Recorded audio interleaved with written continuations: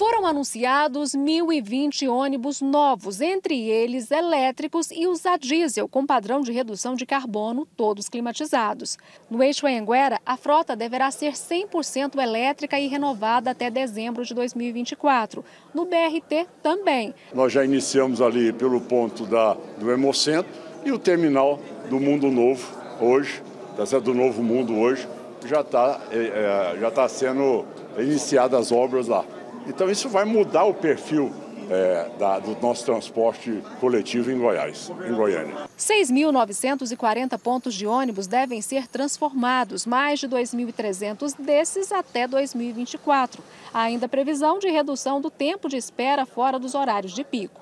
Esse trabalho conta com a parceria de cidades como Goiânia e da região metropolitana, Senador Canedo, Trindade, Goianira e Aparecida. O nosso BRT, por exemplo, juntamente com o, a, a, a, o eixo Anhanguera, que fará esse cruzamento de atendimento aos usuários do transporte público, trará sim mais mobilidade, mais segurança para todo o cidadão goianiense e região metropolitana. Aparecida, por exemplo, os abrigos agora vai ficar a cargo da CMTC e até junho deste ano todos os abrigos estarão colocados no devido lugar. Os ônibus elétricos, os primeiros já foram adquiridos. Mês que vem vocês vão começar a vê-los circulando aqui em Goiânia que eles já estão na fase final de encarroçamento.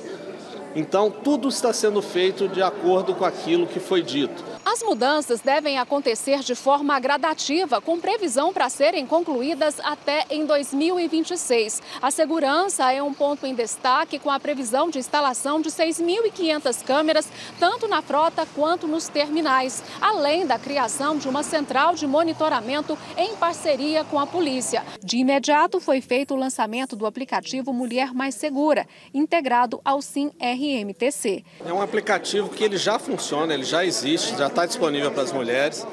O que nós estamos fazendo é integrando esse aplicativo dentro do aplicativo do transporte coletivo, que é o SIM, que aí a partir de lá você vai ter um botão onde a mulher que se sentir importunada, incomodada, ameaçada, qualquer situação de desconforto, ela de forma bastante discreta, sem que ninguém perceba, ela vai lá, aperta um botão Todas as informações a partir desse momento dela são enviadas pela polícia, a localização dela e uma viatura imediatamente acionada. Não está previsto aumento de passagem. Ele continuará pagando os R$ 4,30.